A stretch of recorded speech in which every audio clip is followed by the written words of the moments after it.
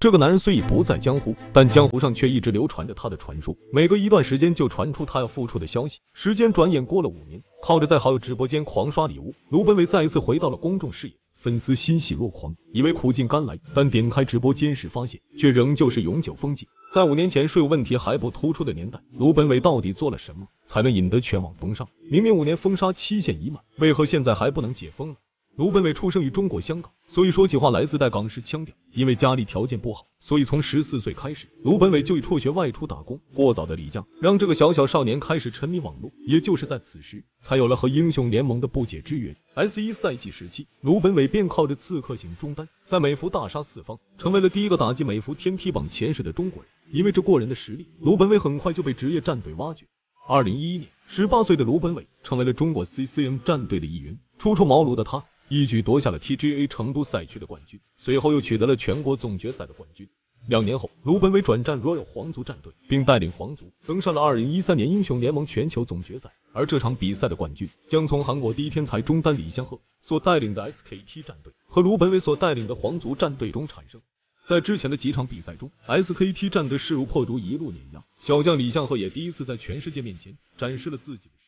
无论是意识还是操作，总能吊打对面的中单。而众所周知的是，卢本伟也是玩的一手出神入化的中单小人鱼。在被问到和李相赫的实力对比时，卢本伟轻松答道：“五五开吧，我也经常单杀他。”但让人们没想到的是，在接下来的比赛中，李相赫的 SKT 以三比零的比分取得了碾压性胜利。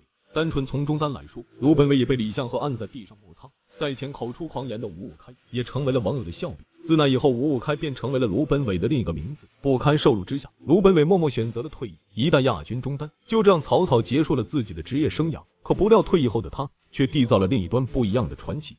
从首个打进美服天梯榜前十的中国人，再到被全网嘲笑奚落的五五开。卢本伟的人生在短短三年的时间里，从巅峰跌倒了低谷。那么他到底走错了哪一步？二零一五年，那正是直播兴起的年代。卢本伟拿着女朋友父母给的钱，买了人生第一套直播设备。前职业选手的身份，加上骚话连篇的直播风格，让卢本伟很快在直播界混得风生水起，甚至坐上了某一哥的位置。在他最火的那段时间里，他的收入甚至可以和同时期的周杰伦相媲美。虽然是英雄联盟职业出生，但当吃鸡游戏火遍全网时，卢本伟也毫不犹豫地跟上潮流。为了能在互联网上出风头，很多主播都会以击杀次数作为噱头。正在大家苦练游戏技术、精神高度紧绷的时期，卢本伟平地一声响，高调晒出了自己的二十九伤，引得侧目非议后，卢本伟并没有加以收敛，他高调扬言，谁能找出外挂给他五百万？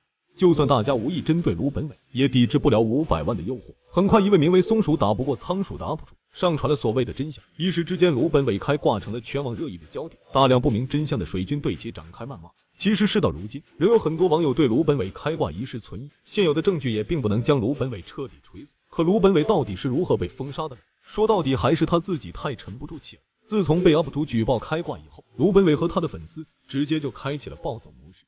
在卢本伟的带领之下。粉丝对该 UP 主群起而攻之，卢本伟甚至索要了 UP 主的家庭地址，扬言将其告上法庭。B 站出面表示会维护自己 UP 主，狗急跳墙的卢本伟便开始乱咬，一边澄清自己没有开挂，一边责备斗鱼平台不维护自己的主播。在卢本伟的煽风点火之下，两个个体之间的矛盾也升级成为了两个平台之间的竞争，平台的粉丝也都加入其中，彻底将事件搅成了一锅粥。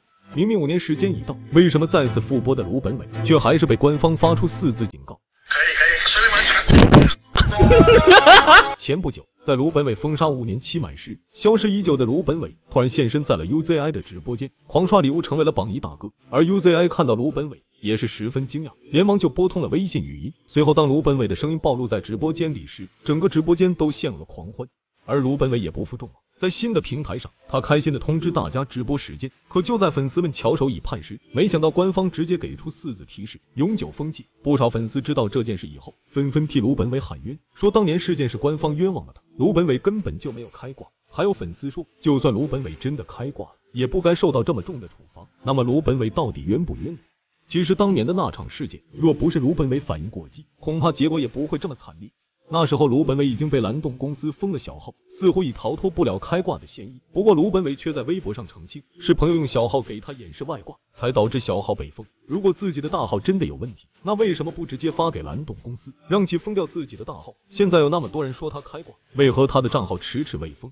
此时虽然卢本伟的名声一败涂地，但终究没人能够证明卢本伟的电脑里确实有挂，而且他还有那么一群死忠粉。所以即使在这样的情况之下，卢本伟的直播仍没有暂停。